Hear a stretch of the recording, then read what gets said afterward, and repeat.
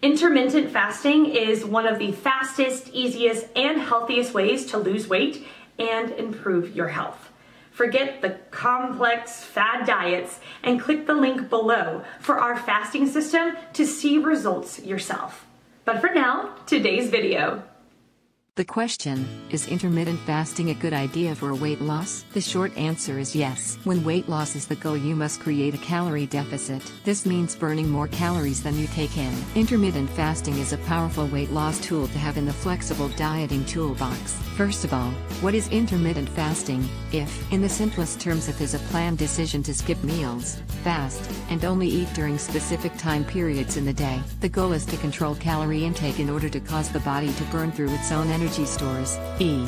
Body fat. Styles of intermittent fasting. Listed below are a short description of three of the more popular methods of IF. These include the 16 8 concept, lean gains, the 24 hour fast, Eat Stop Eat, random meal skipping. Let's take a deeper dive into each of these techniques now. The 16 8 method. The 16 8 concept was popularized by Martin Berkhan of Lean Gains. This method calls for fasting 16 hours per day and eating all your calories within an 8 hour window. Actually easier than it sounds. For example, eat dinner at 6 p.m. eat breakfast the following day around 10 a.m. The 16 8 concept is powerful because you can use it daily, for years and years and years, to take advantage of hormone management and reap the maximum benefits from it. It's the least challenging and most sustainable way to fast, and the method that fits most reasonably into everyday life. The 24-hour fast. The idea of the 24-hour fast was popularized by Brad B. In his excellent ebook Eat Stop Eat. The concept of the 24-hour fast is that once every week,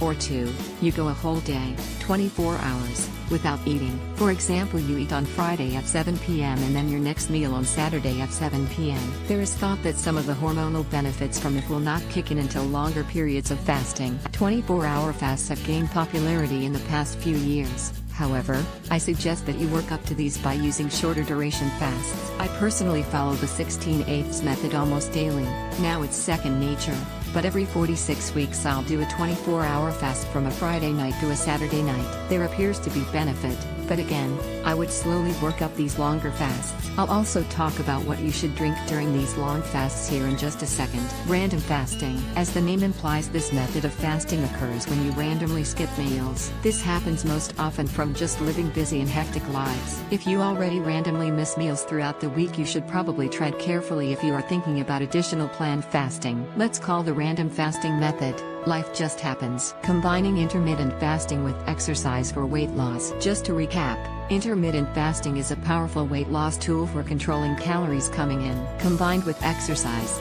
you now have a potent one-two punch to KO unwanted body mass. But, what is the type of exercise, you ask? To that I say strength training in high-intensity intervals, such as wind sprints. Strength training will help you preserve your muscle tissue while you lose weight. High-intensity exercises like wind sprints, or hill sprints, will help crank your metabolism up to 11, causing you to burn more calories throughout the day than traditional cardio. The debate of high-intensity interval training versus cardio is a whole other post in itself. Final thoughts on intermittent fasting for weight loss. Intermittent fasting is a great weapon in the fight to lose weight. If you're new to fasting I recommend starting with something resembling the 16-8 style. So, fast for 16-ish hours and eat within an 8-hour-ish window. This is the simplest technique of intermittent fasting, and a great place to start from. To rapidly speed up your weight loss results consider adding in strength training and or high-intensity interval training throughout the week. I wish you the best of luck on your quest. For more answers, or a full guideline on fasting, check out the links in the description below.